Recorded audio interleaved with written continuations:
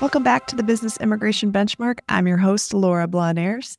Thanks for tuning in. In this episode, I will be inviting my colleague and Denver partner, Ceri Koski, to join, and we'll be getting into a state of the U.S. corporate immigration industry, so to speak. For the last couple of weeks, we've been compiling and analyzing the 2023 government data dump and we'll be sharing our thoughts on that data. But before Ceri comes on, I did want to share some of my thoughts about internship programs. We are approaching internship season, and I've been getting a lot of comments, questions, requests to support HR, global mobility professionals to start, operate, and sustain internship programs for not only their company, but also servicing foreign national employees. So, with that, let's do a little bit of housekeeping. As you know, the Business Immigration Benchmark is on Spotify. So, if you haven't already, please subscribe or follow WR Immigration on YouTube so you can be sure to catch our episodes, which are released every Monday. The best way to get a hold of me with any comments about this podcast, please DM me on LinkedIn. You can also email my producer. His email is in the show notes if you've got any feedback you want to connect with him on. Okay, let's dive in. Internship programs. Like I said, we're approaching internship season, usually kicking off when semesters end in May, June at the earliest. You know, for varying reasons, companies, organizations are going to be leveraging internship programs for their overall talent acquisition and talent management strategies.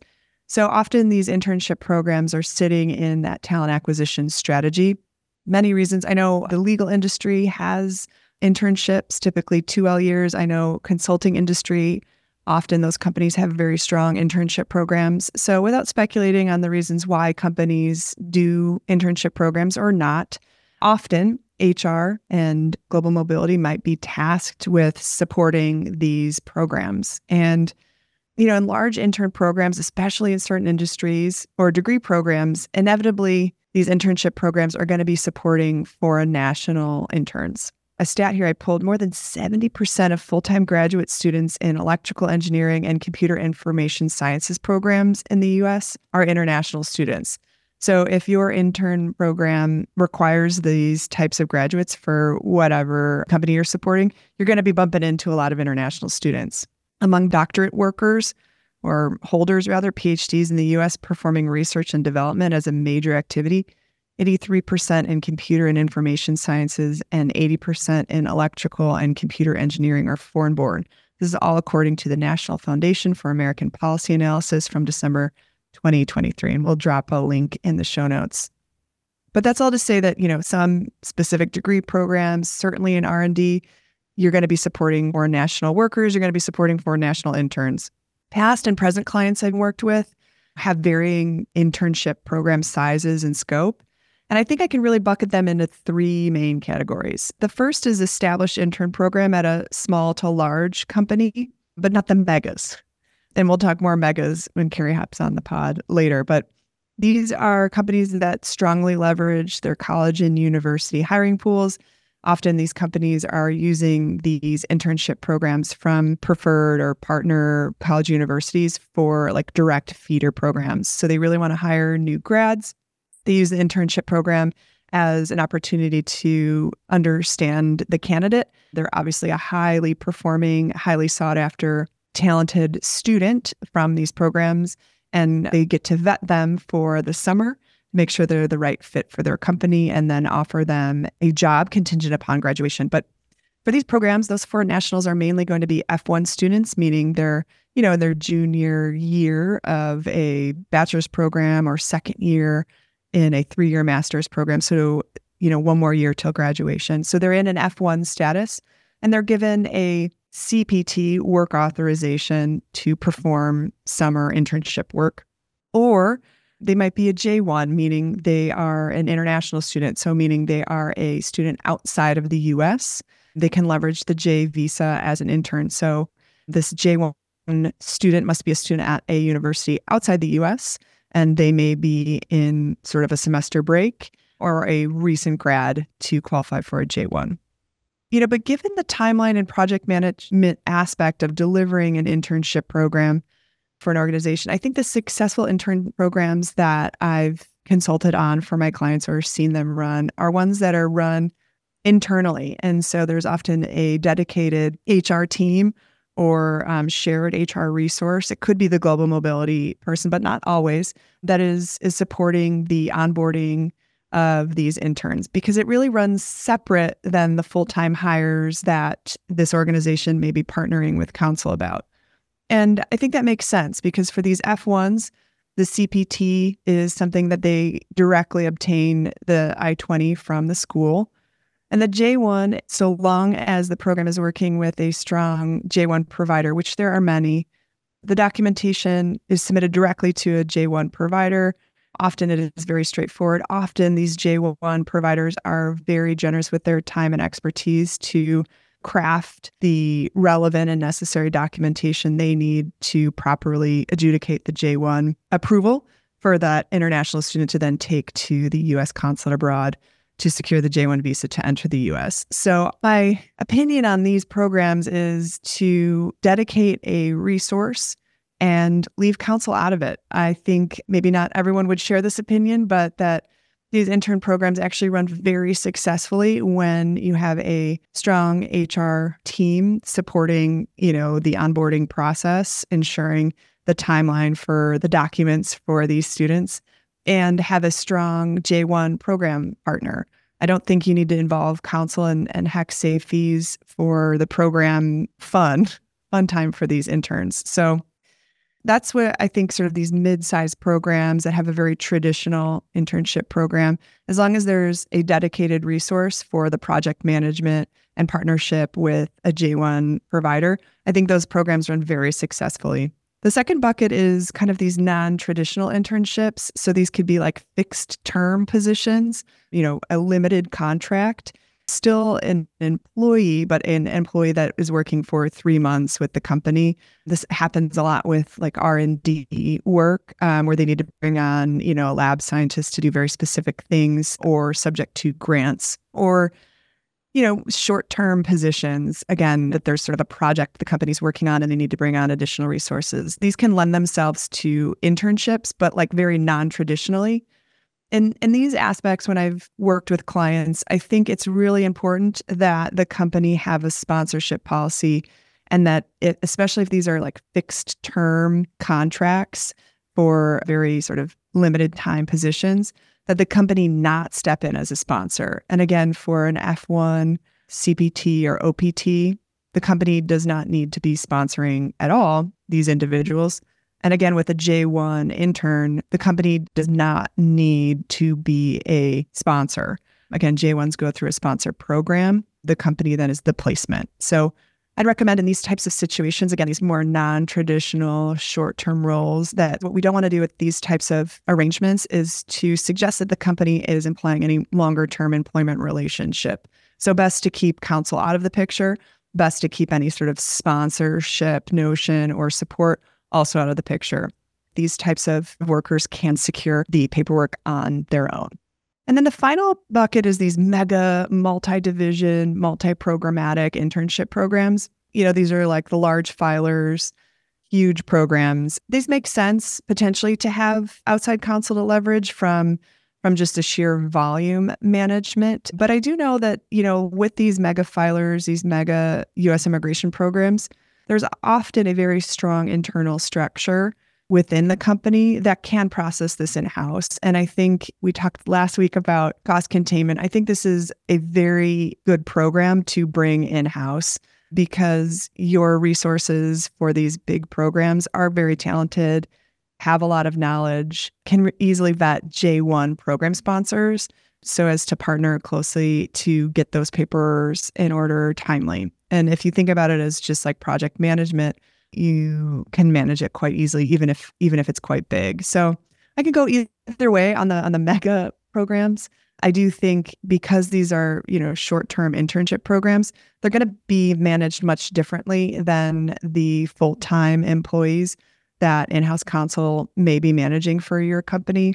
So it's very easy to handle them differently and to put them on a different docket entirely and manage them through your in house HR resources. Welcome, Ceri, to the Business Immigration Benchmark. I'm so excited to have you on because I know you have a very diverse experience supporting corporate immigration clients with mega large programs, large programs. And I think together we can identify a few patterns in this data, the government's 2023 filing data, that can give our listeners a sense of what the industry is doing and some core best practices that they can incorporate into their programs. So, USCIS recently released a lot of high level data from 2023 on the US immigration system as a whole. You know, candidly, I think there isn't much in those data dumps that HR or global mobility can like take away for their programs. I think a lot of policymakers can take away from their data and make and make some interesting policy decisions. But in terms of solving problems or making proactive changes in their program sponsorship policies, I like to look at the DOL data. And so that's what we're going to be analyzing essentially. We aggregated the DOL 2023 LCA data, which is more robust. And I know, Ceri, we talked yesterday how much you like digging into this data and that it's more specific to the industry. So we're going to run through those highlights and analysis as sort of a benchmarking exercise. And I don't know of anyone else out there who is currently looking into this data and garnering insights from it in the way that we're about to. But if there is anyone who is listening who has similar takes or different analysis and different conclusions, please reach out. We'd love to collaborate and have you on the podcast in the future. This data set is massive and is by far and away the most comprehensive and robust source of corporate immigration data. So, on this episode, Ceri and I are really only going to be scratching the surface. And we'll include the sources of our data in the show notes. So, take a look at that if you're interested in digging in. Okay, but with that, let's let's dig in, Ceri. Just under 500 certified LCAs filed for H-1Bs in 2023. So that's about 99% of LCAs that are filed are for H-1Bs, and about 880,000 total worker positions filed in LCAs in 2023. So that includes batched LCAs, which Ceri and I are going to dig into a little bit more later. From this, we can extrapolate that the total H-1B filings dropped about 10% from 2022 to 2023 across the market. So in 2022, there was 555,000 LCAs filed. Any initial thoughts, Ceri, about those insights from just top line data? Sure. Thank you, Laura. Um, you know, as you said, it, it, it's really interesting to dig into this this uh, data set, which is published by the Department of Labor on an annual basis, but also on a quarterly basis.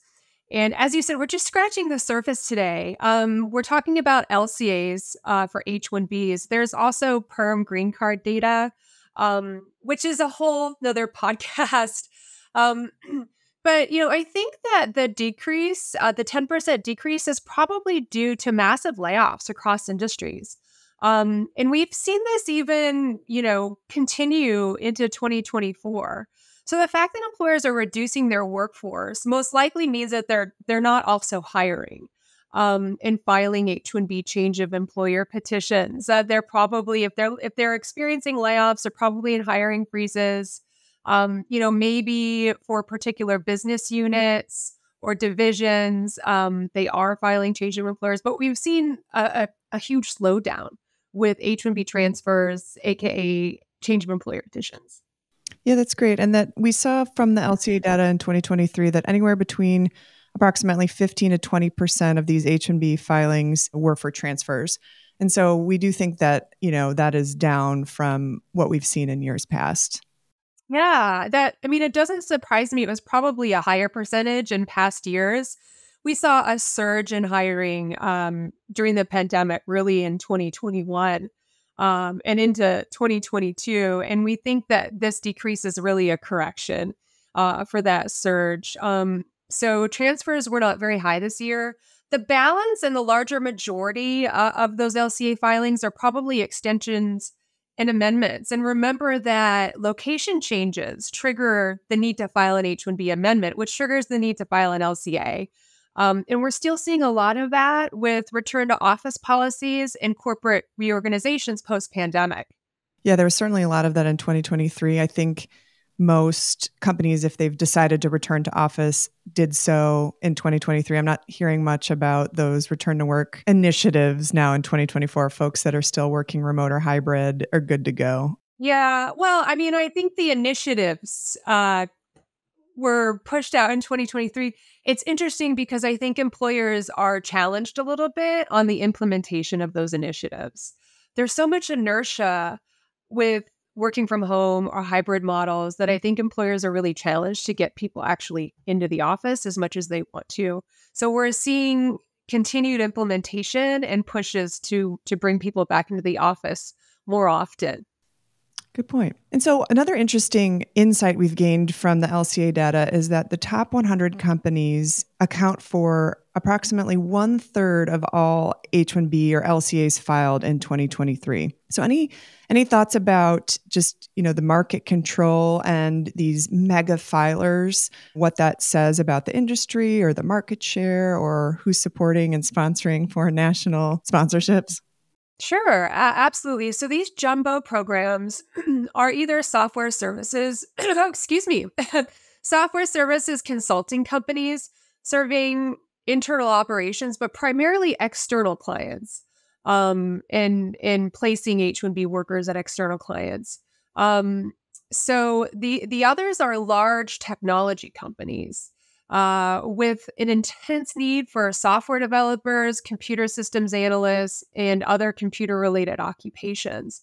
So those are the the primary users, and because of the demand for those type of occup- occupations these entities are filing you know tens of thousands if not hundreds of thousands of lcas yeah and within the lca data again this is all publicly available. If you download the dol data it might crash your computer but you can get to it. Um, you know amazon in 2023 filed almost 19000 lcas so 18886 and that's a total market share of amazon alone filing 3.8% of the lcas filed in 2023 so when we see that there are fewer LCAs filed, we have all read the headlines of Amazon layoffs. Like it makes sense that these high volume mega programs are really moving the market when we're saying slow down and what Ceri was just sharing. That makes a ton of sense to me. You know, I think the other interesting insight from the LCA data is just understanding these mega programs and how they operate. Like, are they supported by outside counsel? Are these programs producing the immigration work in house? And and the LCA data gives us a breakdown. But but Ceri, I'm hoping you can kind of share some insights into the differences between an in house program like Cognizant or Microsoft that are mega volume filers and, and operate all the production in house versus Google or Tata that leverage outside counsel. Sure. So, you know, these top filers have, typically have large immigration teams that have been built out over decades. Um, so these in-house teams function as internal, really as like internal immigration firms serving internal clients, you know, business units, departments, or regions, um, while also engaging outside law firms. Um, many of these programs use multiple firms in order to meet the needs of their internal clients, and um, you know, due to company growth based on acquisitions, these employers inherit the immigration law firms of the companies that they're acquiring. Um, so you know there's there's a, a lot of different um, models with in-house immigration teams um, and there are really a couple of factors that come into play. I would say the primary factor is probably the bottom line right? Cost savings um, from doing the work in-house. Um, you know then you're not paying legal fees if you can do that that work in-house. Um, but you also want to look at the resources. Do you have a team in place um, that can do the in house filings? Um, and, you know, from a compliance point of view, you know, that team really needs to be managed by an immigration attorney. So, um, you know, these top filers do have um, immigration attorneys, multiple immigration attorneys, and large paralegal teams to get this work done. Um, another factor to consider is technology. Do these in-house teams have custom-built technology that that they build themselves to generate and produce, or are they using an out-of-the-box um, um, immigration software? I actually know of some sizable in-house programs that just use USCIS.gov and get the forms off the government website and use Flag, and actually are not using, you know, um, a software program. At the end of the day, you know, the the um, the company is focused on compliance, right? I mean, does doing the work in house um, save money? Uh, can you do it compliantly? Um, and you know, another very important factor actually is employee relations or the employee experience. If you're doing the work in house, um, you know, you you no longer necessarily have a buffer between the company and the law firm. Um, so there is how are you going to approach your employees that you're sponsoring? Um, how are you going to service them? Some companies use a ticketing system.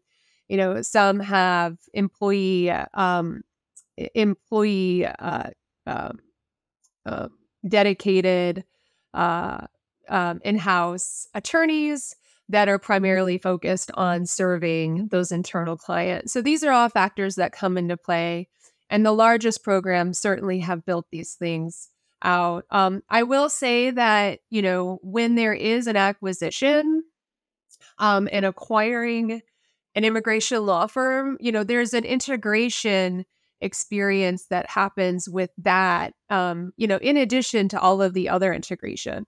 Uh, so that's one thing to keep in mind. Yeah, I mean, it sounds like at these mega jumbo programs that that do the work in house. And again, when we're looking at the LCA data, so we're reporting on the H 1Bs that they're filing in house, it seems like they would have a very developed structure. They may have that software and that they're really concerned with compliance and cost savings. And so what would be your impression for, you know, some of our listeners who are HR global mobility professionals that are looking to advance in their career for someone to drop into one of these programs or go in house in one of these programs? What kind of experience do you think they gain when they move into a, a mega program in, as an in house provider? I mean, I think it can only be uh, a, a good thing in a person's career to go in house at one of these programs because you know you develop the skills um, to better understand large immigration program management um, in a comprehensive way even though you may only be filing LCAs.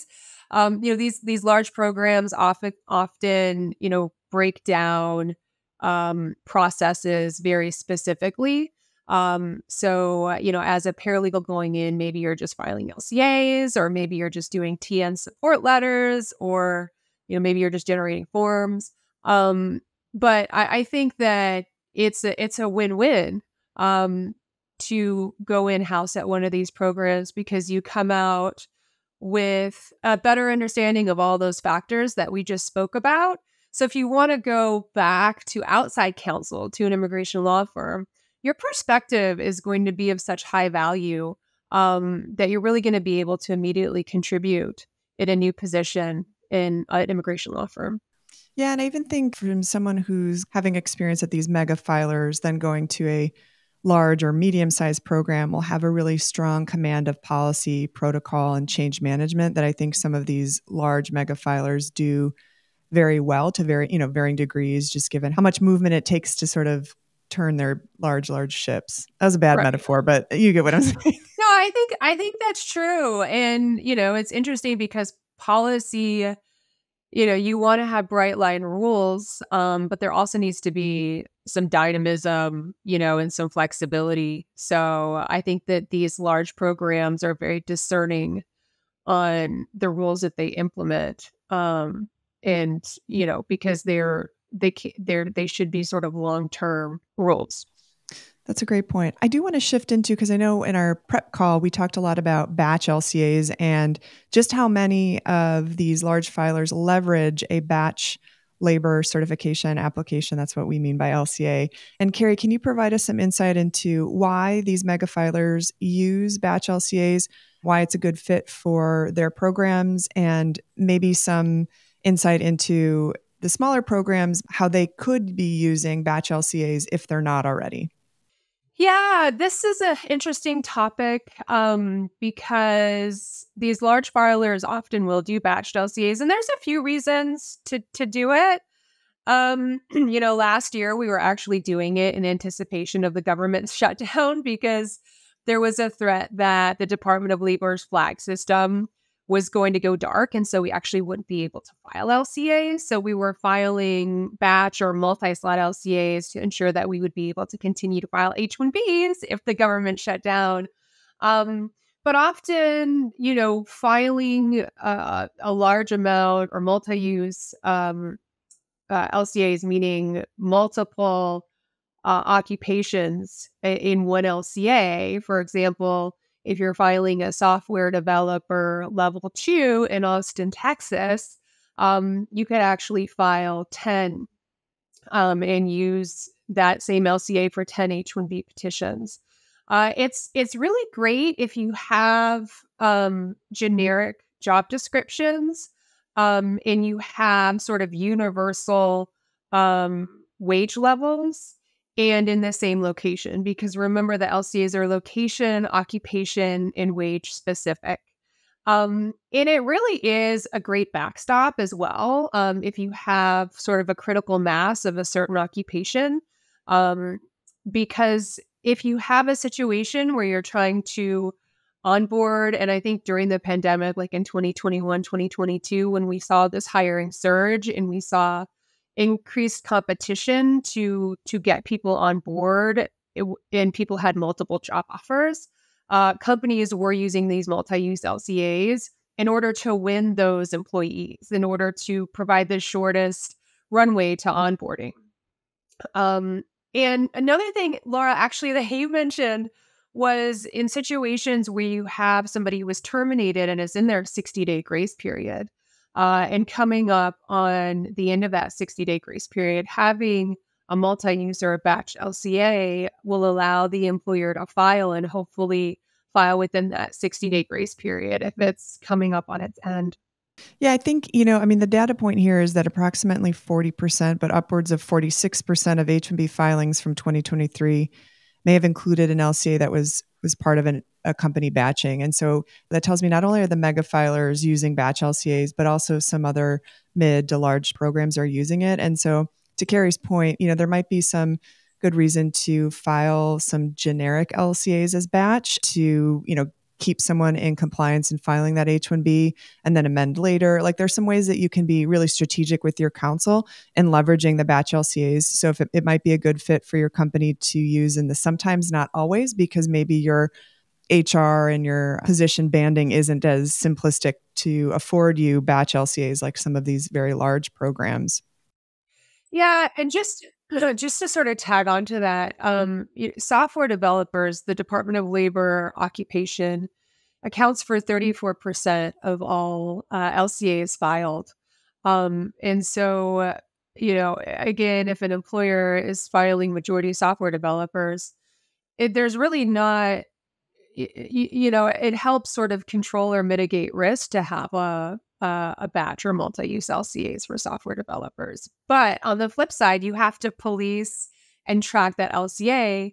You cannot file 11 H1Bs on an LCA that only has 10 slots. So uh, just remember that there's some policing that has to go on and some tracking if you're using multi-use LCAs. Yeah, good point. So, certainly something more and more companies should be looking into strategically, compliantly, because um, there's a lot to think about there with batching. And that, Ceri, you brought up a really good point with um, some SOC code data where um, in, in 2023, 34% of all LCAs filed were for software developer category in, in considering the data um, about you know SOC codes used, software developers are by far and away the most common code. But any other insights from your practice in combination with the data that you have some thoughts on? Um. well, I mean, I think the the primary point is that most of the LCAs are filed for computer occupations. Um, you know, I did see that business intelligence analysts and operations research analysts are at the top of that list as well.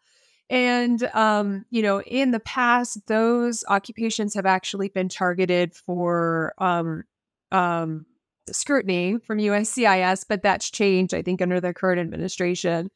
Um, so, you know, we monitor these trends. We monitor, we monitor the the the scrutiny that we think an SOC code will will garner. Um, and there's also new LCA or uh, SOC codes. For example, data scientist is a is a relatively new SOC code, and that's one of the top ten, I believe. Um, so yeah, we are paying a lot of attention to SOC codes. Um, and also monitoring the new ones that come out. And I think it's worth remembering that every July 1st, prevailing wages change. And so we're also have an eye toward um, the wages on these um, these occupations as well. Yeah, very good point. Okay, I think now let's shift into the industry analysis scenarios. So we've got some anonymized scenarios that we hope reflect some of our listeners' programs to give them some insight into how to think about their program in light of the DOL data that we're sharing and thinking about. So, uh, our producer Finn here will come on to tee up the scenarios for us. Cool. First one as a cost containment measure, a VP of Immigration and Mobility is exploring hybrid filing uh, for their company's program. Uh, here's the info that we have on them and their company, just a couple of the fast facts. Uh, it's a financial firm. This VP of Immigration and Mobility has 20 plus years of experience. Uh, their team size is 12 members globally, uh, including two new hires who are a former attorney and paralegal duo from, from the company's partner law firm. Uh, their partner law firm is one of the largest immigration law firms in the US. They have about 4,000 foreign national employees. Uh, in 2024, they listed their main pain points as cost containment, uh, dealing with sort of the uh, the aftermath of RIFs and lack of a strong case management technology system. The question for you on this scenario for you both is how would you advise this VP of immigration and mobility on the steps they should take to pilot an in house filing operation to shift their company towards a hybrid program? I'm, I'm happy to take a crack at that one. Go for it. So, I think going back to the the primary factors that I mentioned earlier, um, you know, in if if you're using outside counsel 100%, you really want to look at um, at formulating your approach to having an in-house team and you know looking at the your bottom line um you know looking at past spend on h1bs teasing out the legal fees compared to the filing fees and looking at what your savings would be um, and then also looking at your bandwidth. Do you have the current in house team with the subject matter expertise to take a piece of the work in house? Um, for example, do you have H 1B subject matter experts? Do you have paralegals that have filed LCAs or know how to file LCAs? Um, do you have several immigration attorneys on your in house team? Um, because Im- those immigration attorneys will need to um, advise on compliance, record keeping, anything that outside counsel is doing, those immigration attorneys will absorb and track. And then, in addition to that, I think the employee experience. How is this going to change the employee experience? Are you going to have the same type of engagement with employees um, and their managers, or will this change uh, how you engage them because you're now focused on production? Um, so, all of these things should be taken into consideration uh, when making the decision to take the work in house. I will say that typically um, in house teams choose to do like one piece at a time.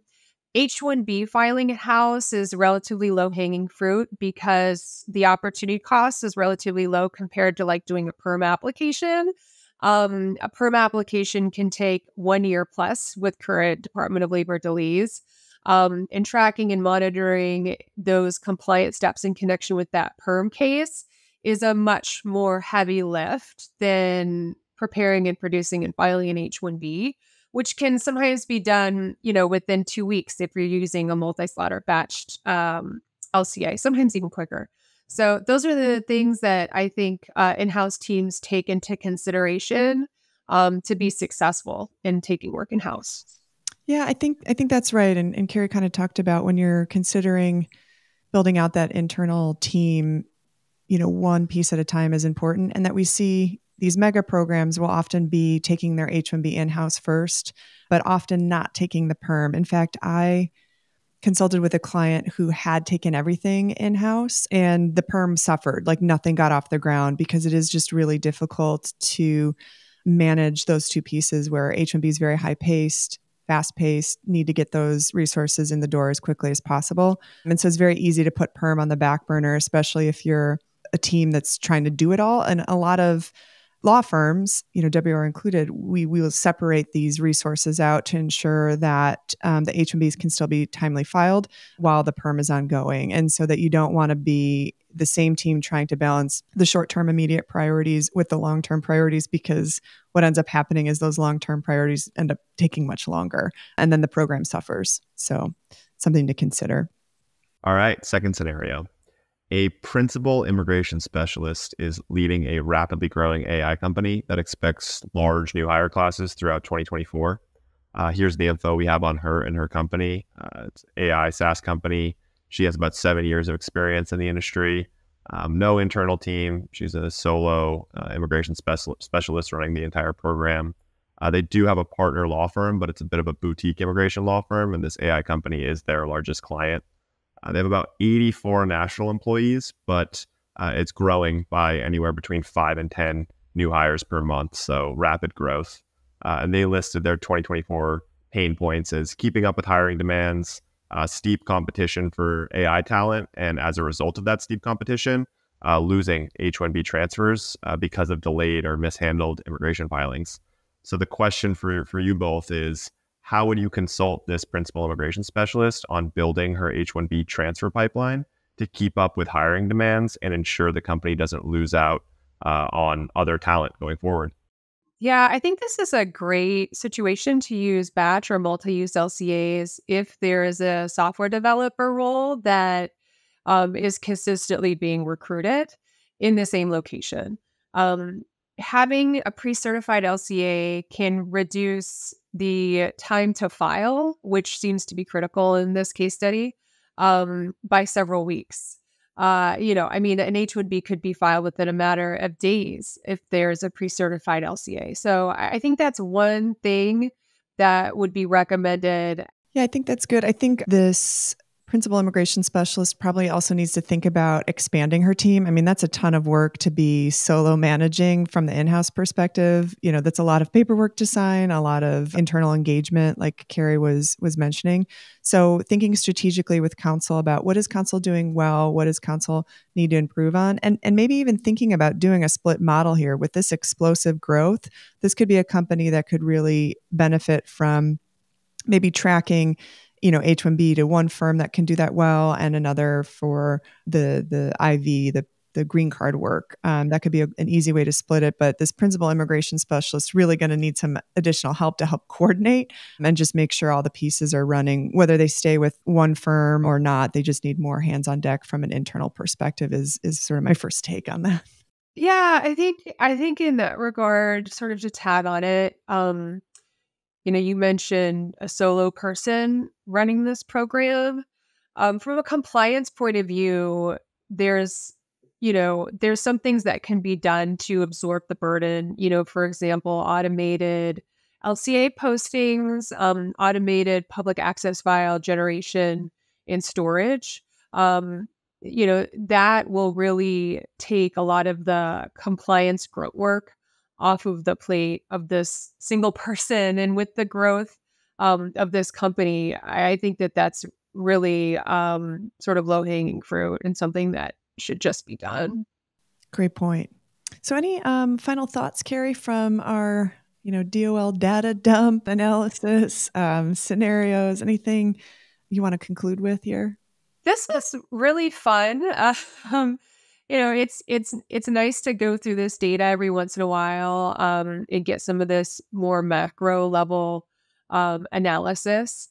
And i think i would just um, note that this is purely h1b lca focused um, when it comes to perm dol data it's really a whole different game. And as you mentioned Laura, uh, in house teams uh, really approach perm differently and often will use outside counsel to manage that although some some programs do it in house as well. Um, but maybe we can have another session um, where we go over perm and some of the other details with uh, LCA data. Yeah, absolutely, Ceri. We're going to have you back on. We're going to dive into the perm data and kind of truck through that with you. Thanks for coming on the podcast today. Thank you. Good seeing you, Laura. Thank you, Ceri, for joining us on the Business Immigration Benchmark. And thank you, all listeners out there, for tuning in. If you haven't already, please subscribe to the Business Immigration Benchmark on Spotify or follow WR Immigration on YouTube so you don't miss an episode when we drop them every Monday. We hope you enjoyed this episode. If you've got any questions for Ceri I, please drop us a DM on LinkedIn. That's the best way to shoot us any feedback, questions, comments on this episode, or thoughts on what to include in the future. We hope you enjoyed this episode and join us next week here on the Business Immigration Benchmark. See you all next week.